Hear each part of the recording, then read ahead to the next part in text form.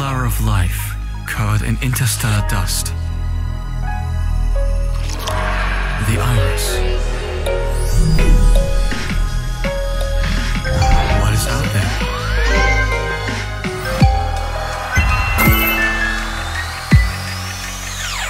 The universe.